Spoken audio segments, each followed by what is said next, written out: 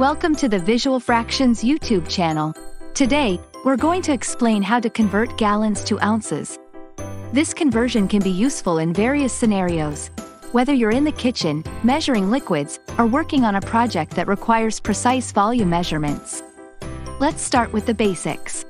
A gallon, often abbreviated as gal, is a unit of volume commonly used in the United States and a few other countries. An ounce, represented as oz, is a smaller unit of volume. Now, here's the key part. One gallon is equal to approximately 128 ounces. To convert gallons to ounces, all you need to do is multiply the number of gallons by 128.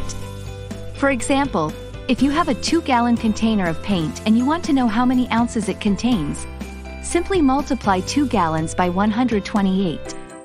That's a total of 256 ounces.